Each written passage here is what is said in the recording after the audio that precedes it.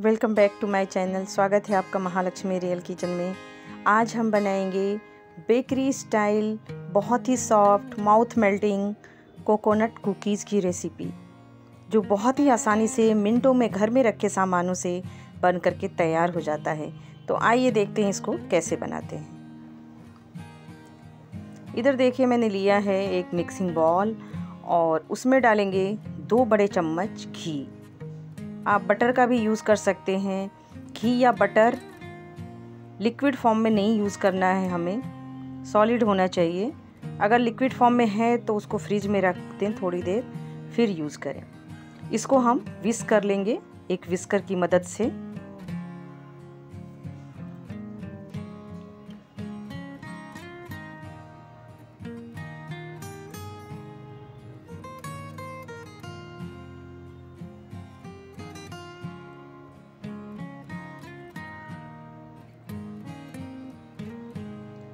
और अभी डाल देंगे हाफ़ कप के जितना पाउडर शुगर।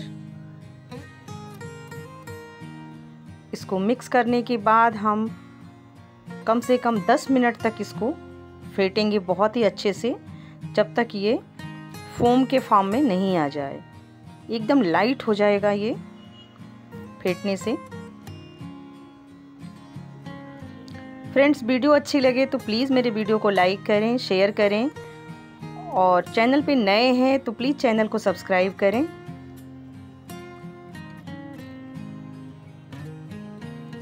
ये देखिए, अभी फॉर्म फॉर्म में आने लगा है।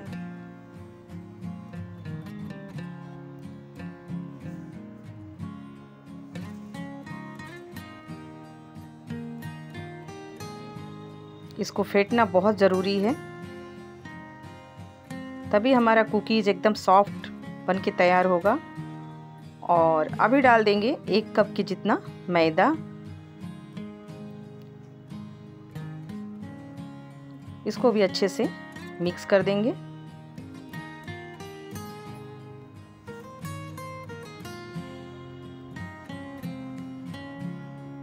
अभी लिया है एक स्पून और उससे अच्छे से मिक्स करेंगे। और अभी डाल देंगे एक कप के जितना कोकोनट पाउडर।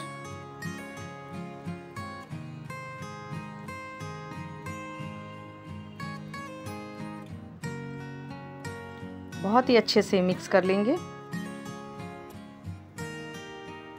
और अभी डाल दिया है half teaspoon baking powder. One four teaspoon डाला है बेकिंग सोडा और थोड़ी सी इलायची पाउडर, हाफ़ टी स्पून के जितना। इसको बहुत ही अच्छे से मिक्स कर देंगे।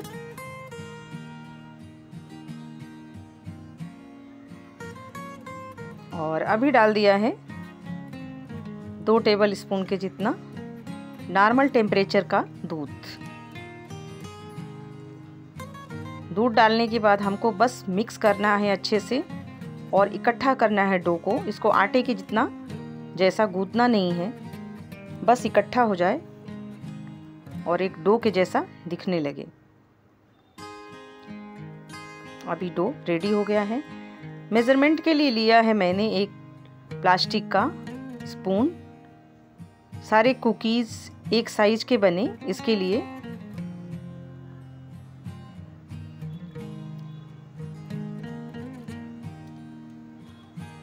ये देखिए, हल्का सा प्रेस करेंगे। बस।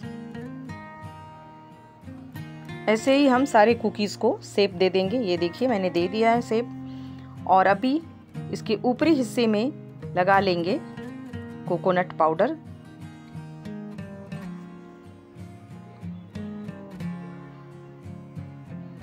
और अभी लिया है एक प्लेट बटर पेपर इसको ग्रीस कर लिया है घी से। अगर आपके पास बटर पेपर नहीं हो तो आप कोई भी पेपर लीजिए न्यूज़पेपर को छोड़ करके और उस पर घी या ऑयल लगा दीजिए। सेम काम करता है। इसके ऊपर रख दिया है सारी कुकीज़ को। और इधर गरम कर लिया है एक पैन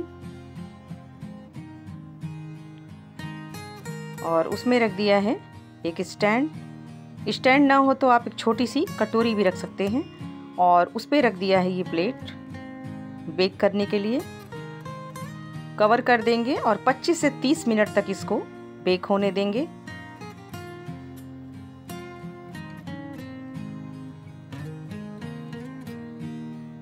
अभी हो गए 25 से 30 मिनट। कुकीज़ बेक हो गए, देखिए। बहुत सुंदर सा कलर आ गया है। अभी ये बहुत गर्म है। इसको गैस के ऊपर से उतार लिया है। इसको ठंडा होने देंगे।